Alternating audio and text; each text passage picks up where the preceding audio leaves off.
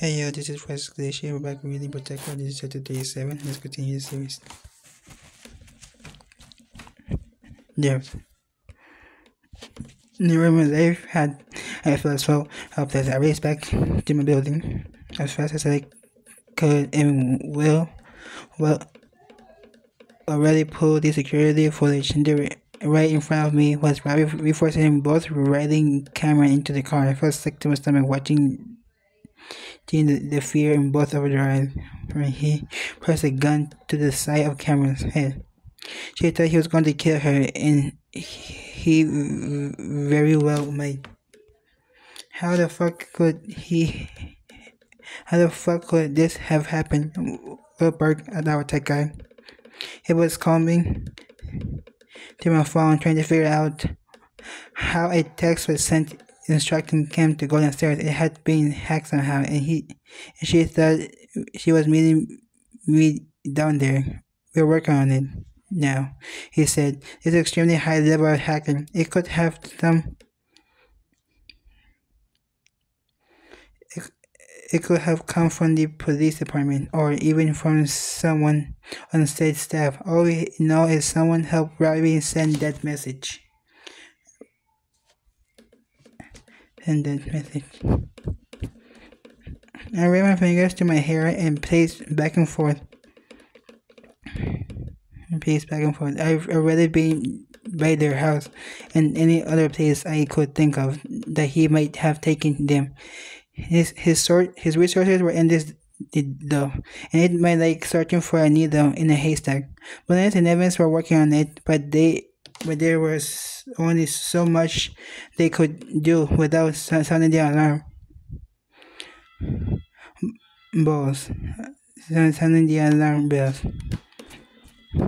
and then we would eh, have to explain that Ken and Riley were actually alive all this time. Basically, I was on my own, and so far, I was I was failing miserably. I spent the better part of the last few months sobbing to her. I would never let him near him again, and somehow I led them right into a trap. That's all this was from the beginning. Rory used me as his alibi to get us into town, and then his plan unfolded. He knew he could get a mistrial call, and knew the judge would grant him bail. It was absolutely disgusting how this guy was able to get away with his shit. When I finally got my hands on him, I will, will relish in every second of making him hurt and feel just as scared and worthless as he'd made Cam, feel. I only hope I would find him soon enough. Derek, we're going to find him, find him, okay? Will try to assure me. Will try to assure me. Probably terrified. I bit my lip, biting, biting back my own emotions. I could only imagine that was going through Cam's mind right now, and that I couldn't be there to calm her was debilitating. She might be dead because I hadn't been able to keep my promise to her. I called Cole. He is going to come with us just in case.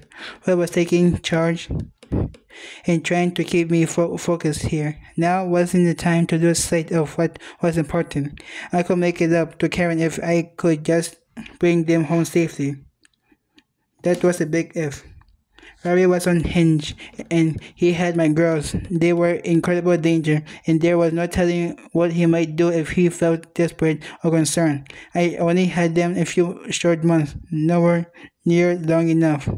I was planning a life with them, and now suddenly the carpet was ripped out from underneath us. My life didn't even make sense anymore without Cam and Riley in it. Where do we start? I said, ready to get to work. I was no use to either of, of them if I let my emotions get the best of me. Right now, I had to stay focused. And Robbie finally left me alone. I was crumpled up in a mess on the floor. He hadn't taken it easy on me for our first altercation in months. My clothes were in shambles, and I and I was a bloody mess. My entire body felt like it might fall apart if I moved the wrong way.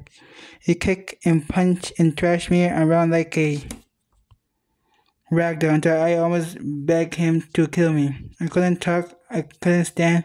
I, I, I, I could hardly breathe. And I knew he was just getting started. I no idea where he gone or when he would be back. Just that I was locked in his room with no way of getting out, besides jumping out of the third story window.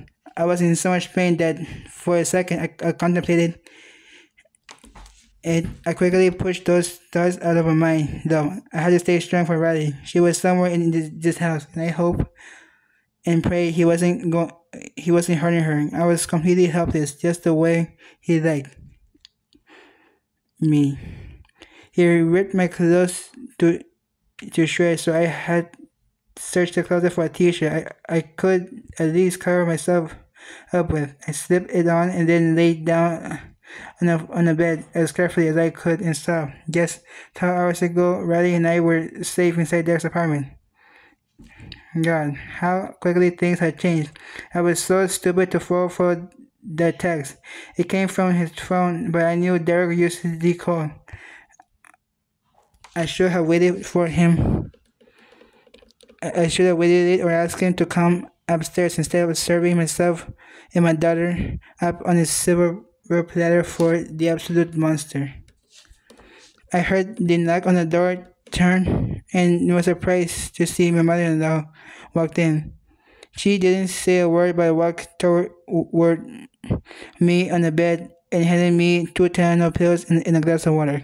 Here, she said, thrusting them towards me, and I hesitated. This will help with the pain.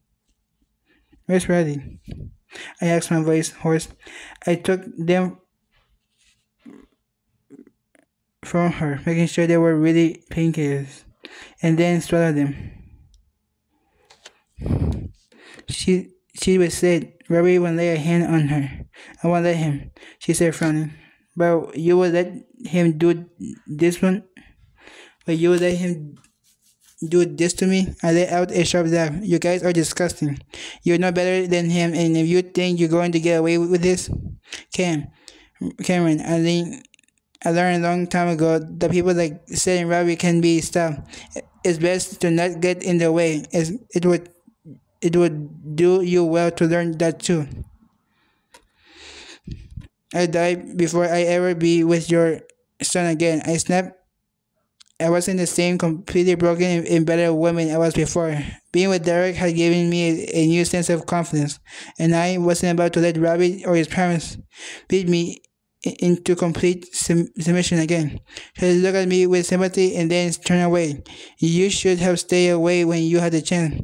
So she got slowly headed for the door. I'll bring you something to eat later. I was speechless as she walked into the hallway and then Robbie appeared. What the fuck are you doing? You nearly killed her. Robbie, I brought her some painkillers and water, he said. You think I care? I know I nearly killed her. Bitch deserve it and much worse. You're just as worthless as she is. Never heard Robbie speak to his mother that way, and it caught me off guard.